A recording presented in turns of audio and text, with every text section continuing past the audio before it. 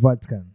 Baba Mtakatifu Francisco akutana na jumuiya ya hospitali ya watoto ya Bambino gesu Papa Francisco akikutana na jumuiya ya hospitali ya watoto ya kipapa katika ukumbi wa Paulo wa sita Vatican, amesisitiza juu ya huduma itolewayo na wahudumu kwamba nguvu yao ya kujitoa ni upendo na hakuna kazi nyingine zaidi ya utume.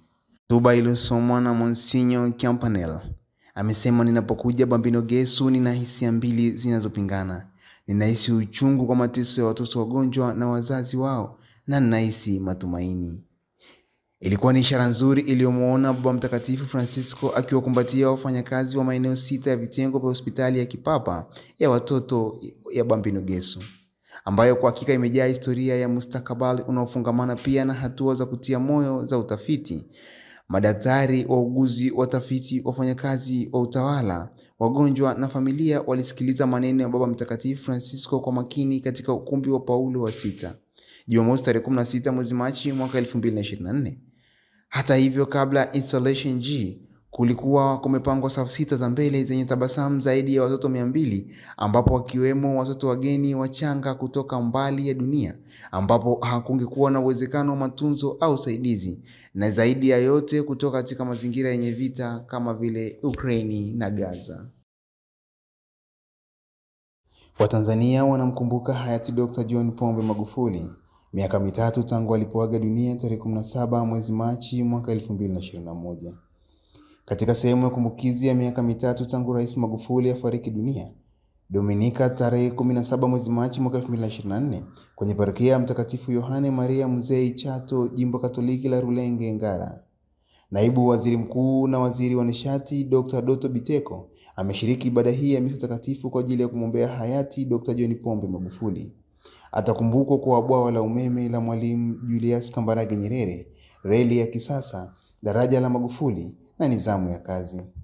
Watanzania wanaendelea kumkumbuka na kumwombea hayati Dr. John Pombe Magufuli, rais wa awamu ya tano alifariki dunia tarehe 17 mwezi Machi 2021 akiwa na umri wa miaka 61 kwa uzalendo, uchapakazi, upendo, uaminifu, kujitoa na kujisadaka bila ya kujibakiza, uvumilivu, usikivu na ucheshi, upole na huruma kutoka kwake. Naibu Waziri Mkuu na Waziri wa Nishati Dr. Doto Biteko ameshiriki ibada hii ya misa takatifu kwa ajili ya kumwombea hayati Dr. John Pombe Magufuli. Kama alikuwa na mapungufu, Mwenyezi Mungu mwingi wa huruma na mapendo amsamehe na kumkaribisha katika ufalme wa mbinguni, maana huenda yeye kama binadamu kuna mahali alikosea, amesema askofu wa Jimbo Katoliki la Rulenge Ngara, Padre Ovan Mwenge wakati akiongoza ibada hiyo. Siyo kazi yetu kuhukumu, kazi yetu ni kumwombea.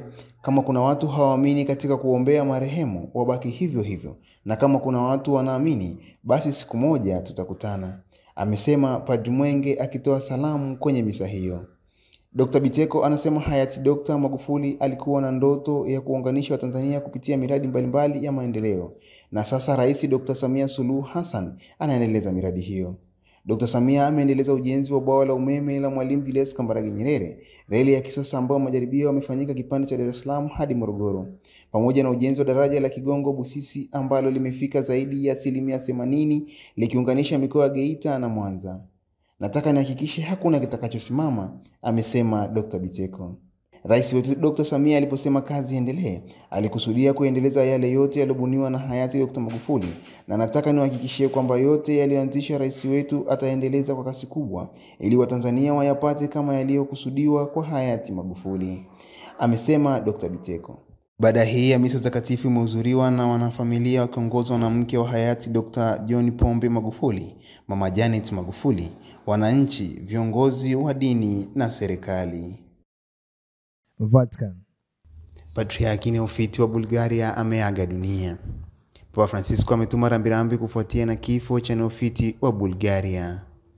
Patriaki huyo alitoa huduma yenye thamani kwa Injili na mazungumzo, na licha ya mateso yake mengi alibaki kuwa mtu wa unyenyekevu na furaha, kielelezo cha maisha yaliyowekwa wakfu kwa Bwana wa kanisa lake.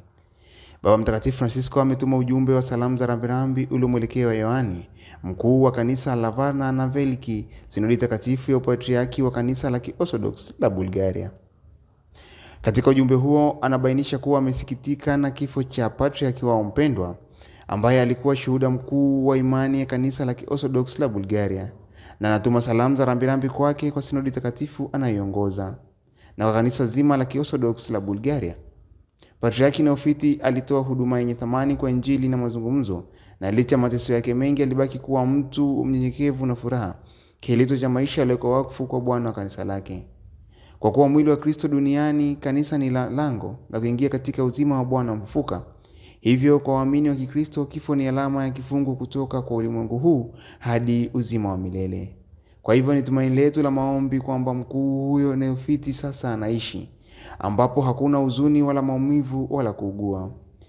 Baba Mtakatifu katika salamu hizo za rambirambi anamfikishia yeye sinodi takatifu na washirika wote wa kanisa la Kiorthodox la Bulgaria kwa ukumbusho wa pekee katika sala zake kwamba Yesu Kristo ambaye alifuka kutoka kwa wafu alishinda kifo kwa kifo alishinda kifo kwa kifo chake na kutupa uzima, awajaze mioyo ya faraja na amani.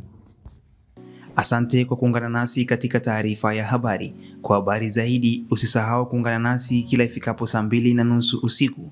Pia vilevile usisahau kusubscribe, like, comment na kushare katika chaneli yako pendwa ya Catholic Moshi Online TV. Asante.